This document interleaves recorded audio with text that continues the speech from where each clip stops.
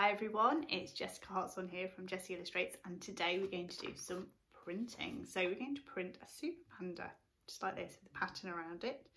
And to do that we need to make our printing block first of all, which we do by sticking some foam to some cardboard and here's our little leaf that's going to go around the edge. Now you could create any design that you like. So in, in the past I've created an Aztec print here, which again is using a foam and we use lots of different colours. But today we're going to stick with green and black paint that you're going to need and your foam and your cardboard. Let's get started.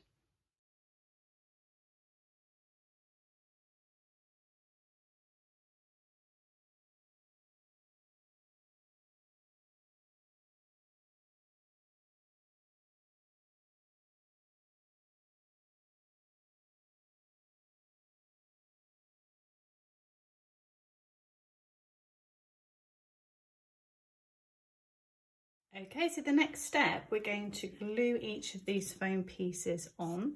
So just putting a little bit of Pritt stick here, or any other sticky glue you have, and stick it in the right place that you want it. I'm going to do that with all the different sections. So all the different sections are glued down now, nice and firm.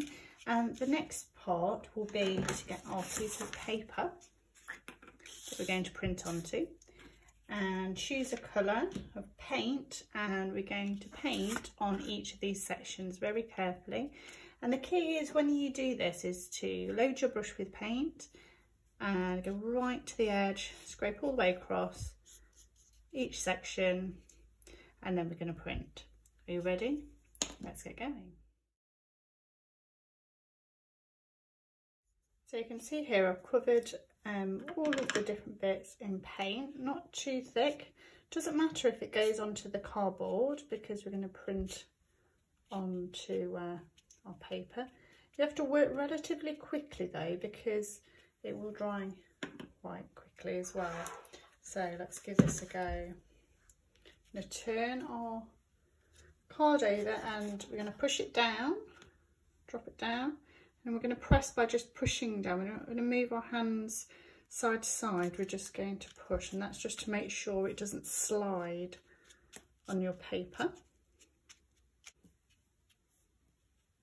And carefully lift it up. That's our first attempt. Now you can see I've not put quite enough paint on this ear here. So I'm going to do it again and see if we can make sure we've got um, more paint on. Um, but you can see it's really effective, isn't it? And obviously you can go over the top. So I'm going to add a white dot into the centres when I get, get enough paint on. So let's have another go. I'm going to go straight and print. Press it down, especially where the foam bits are.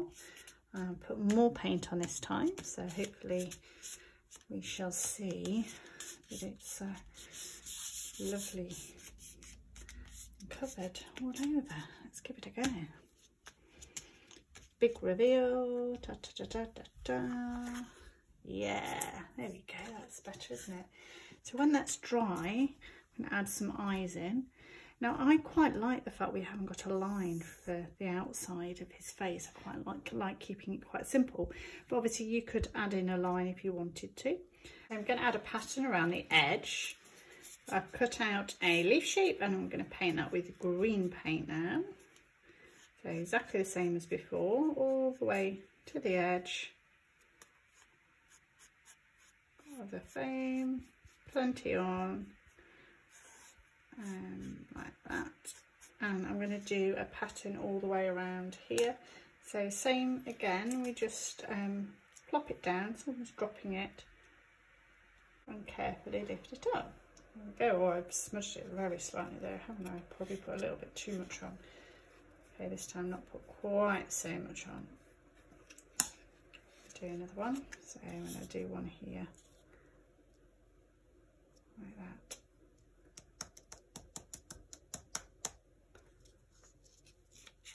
Ah, there we go.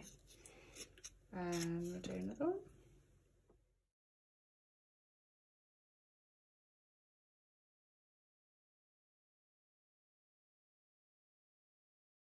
So I've finished my pattern all the way around the edge here. And now I'm going to add in the eyes. So I've got one of my handy Posca pens, but you could just use some paint. And I'm going to draw a little circle here for one eye and one there for the other eye.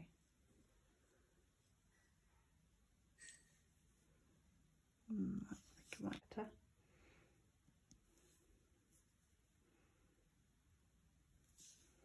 And then when these dry, I might actually add some patterns that'll look quite cool, like this. Again, you could do this with your paintbrush or a pen if you haven't got any of these special paint pens. That would look quite, quite good, wouldn't it? I might not do it on all of them. I think I'll just do it on a few.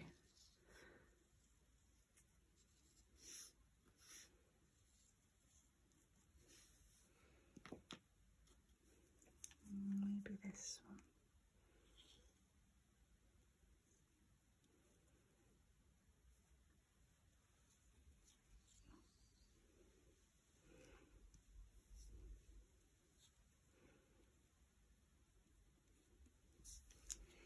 There we go.